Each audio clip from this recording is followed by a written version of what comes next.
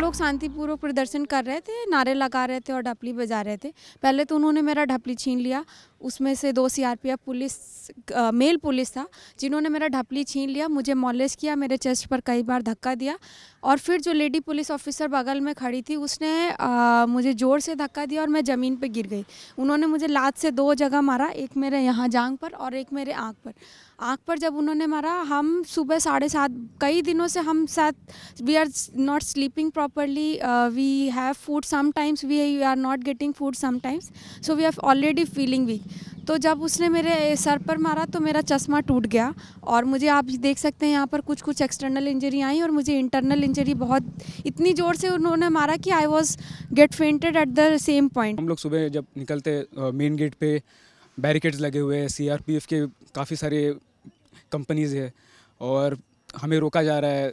Students अभी भी चले गए और हम लोग पहुँचे काफ़ी एक दो घंटे के मशक्क़त के बाद। और उसके बीच में हम लोग को थोड़ा इंटीमेट भी किया गया टीयर गैस के थ्रू और और बाकी भी चीज़ें थी वाटर कैनन ये सब। पर उस, फिर हम लोग पहुँचे वहाँ पे ए और तब जाके थोड़ा मामला ये हो गया कि वो रेसलेस होने लगे। हम लोग रुके रहे वहाँ पे। अंदर कॉन्वोकेशन ख़त्म हो गया, तभी भी एमएचआरडी मिनिस्टर या फिर वाइस चांसलर मिलने नहीं आ रहे थे हमें। और फिर उनको निकलना था तो उन्होंने फिर वो जो वायलेंस हुआ थोड़ा पुलिस की तरफ़ से, कि इनको जानबूझ के मतलब फोर्सबली घसीटा जाए वगैरह। और उसी में बहुत सारे स्टूडेंट्स इंजर्ड हो गए। कुछ लोग फेंट हो गए बिकॉज़ ऑफ़ डिहाइड्रेशन और पानी की नहीं था, वहाँ पे कुछ नहीं था, कोई फैसिलिटीज़ नहीं।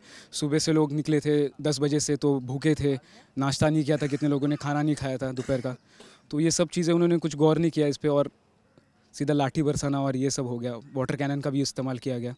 कल जब हम लोग एकदम पीसफुली मार्च निकल रहे थे कैंपस से, तभी पुलिस ने हमारे को नॉर्थ गेट में रोका है।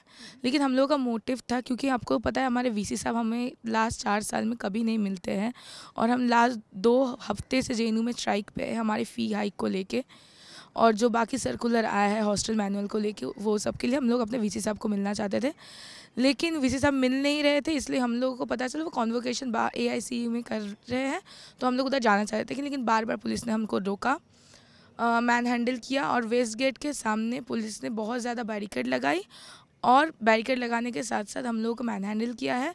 And how the male guards and the female guards behave with the female students of J we can say it's a station then उसके बाद जब हम लोग इंस्टीट्यूट के सामने पहुँचे जैसे मैं मैं जब वेस्ट गेट के सामने थी, मुझे इतना उन लोगों ने धक्का मुक्की किया आई वॉज़ फेंटेड जब वेस्ट गेट जब हम लोग इंस्टीट्यूट के सामने पहुँचे, वो लोगों ने पहले तो वाटर कैनन लाया, फिर बाद में वो पूरा हम लोग को कंसाइज करके हमारे ऊपर लाठी चार्ज करना शुरू कर दिया।